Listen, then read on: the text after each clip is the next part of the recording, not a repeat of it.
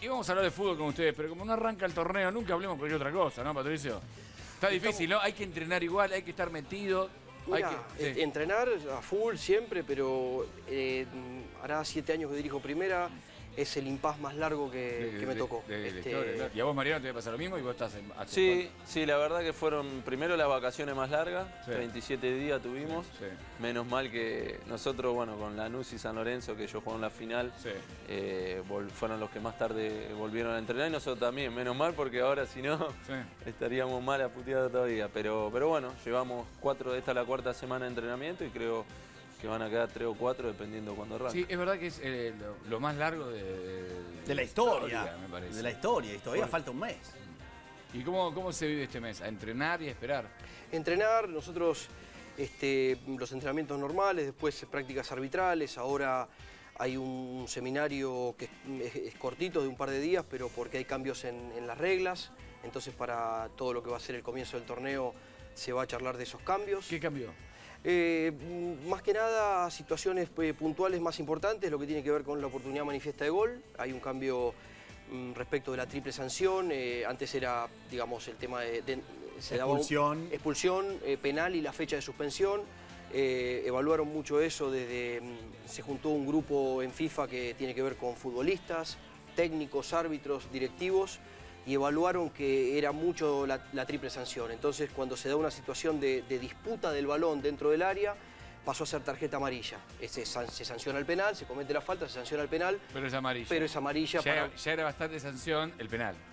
el penal y La roja la roja y, y la, suspensión. Pero perdón, perdón. Si eh, suponete se va Mariano eh, solo, entra al área y el otro, este, le sin eh, posibilidad de llegar a la pelota, va a voltearlo, eso es roja Ahí- todavía. Exactamente. Eso Es- sigue siendo eso sigue roja. siendo roja. Lo que tiene que ver con, con un empujón desde atrás, con un agarrón. Pero eso no era roja. Eh, mira, el, el concepto y el razonamiento de la situación es, por eso yo mencioné lo de la disputa, cuando un arquero o un defensor en este caso quiere disputar el balón y por la destreza del delantero se la mueve justo y se lo lleva, esa es la situación de disputa donde está Ah, va, el ma- tema de va mucho amarilla. para los arqueros, ¿no? Y el, y el mano a mano que por ahí te gambetea y el otro le hace falta. Patricio, pero en la Quizá puede- velocidad de la jugada, ¿se puede analizar eso? Y se tiene, y eh, por eso la preparación para razonarlo, digamos. Yo estoy de acuerdo que puede ser con el arquero, pero también se puede dar con el número 2 o con el número Sí. 6 que van abajo, Sí. También, que claro. quieren disputar y el delantero se la puntea. Esas Y en se- realidad fue a la pelota. y en realidad quiso ir a buscar la pelota. Está bien, está Lo que bien. pasa es que la destreza del delantero hizo que no llegue. Pero va la intencionalidad del defensor interpretada Exactamente. por Vos. vos. fíjate que si vos vas corriendo de atrás y suponete, eh, va Mariano, típica posición de, de la situación de número 9, y desde atrás lo agarran de la camiseta, ahí no hay ninguna No hay discusión. intención de jugar el balón. claro. Entonces eso es tarjeta roja. Los jugadores, ¿quién se lo explica todo Y esto? para no hincharle tanto, que siempre... Siempre se, siempre se va a molestar, ¿no, Mariano? no, y siempre estamos ahí encima del árbitro. Sí. ¿Eso es muy de Argentina? Eh, sí, aunque ha pasado en otro lado. Yo ponele cuando estaba Mou y, y Guardiola en el Real Madrid-Barça, Barça-Real Madrid, se le iban encima en cada ¿Verdad? decisión y bueno, y era el- el- la liga más importante del mundo y por ahí era una bajada un poco de línea creo que de Mourinho. Pero bueno, pasa en todos lados. Pero sí, acá, acá somos de, de protestar ¿Sos mucho. de- de hablar al árbitro? No, yo creo que hay... Depende a veces los días, ¿no? Uno también... Uno tiene sus días. Claro, a veces que está más irritable, que viste protesta todo, pide todo, otra vez está más, más tranquilo, aunque la experiencia sí te va dando eh, más de tranquilidad y bueno, tratás de, de ayudar al árbitro, ya vas, vas creciendo en un, en un montón Pero de aspectos. eh, eh, hay eh, pedidos o reclamos de los jugadores dentro de la cancha que por ahí no saben bien el reglamento, que te piden cosas que vos decís, pero maestro, esto no, no está en el reglamento. A veces pasa. Lo que pasa es que yo también entiendo que el futbolista, el deseo más importante que tuvo desde, desde muy chiquito, desde infantiles, luego inferiores y demás, es jugar a la pelota. Entonces, no hay una búsqueda, no hay un desafío tan importante en conocer la regla, porque lo que pretende el jugador es jugar.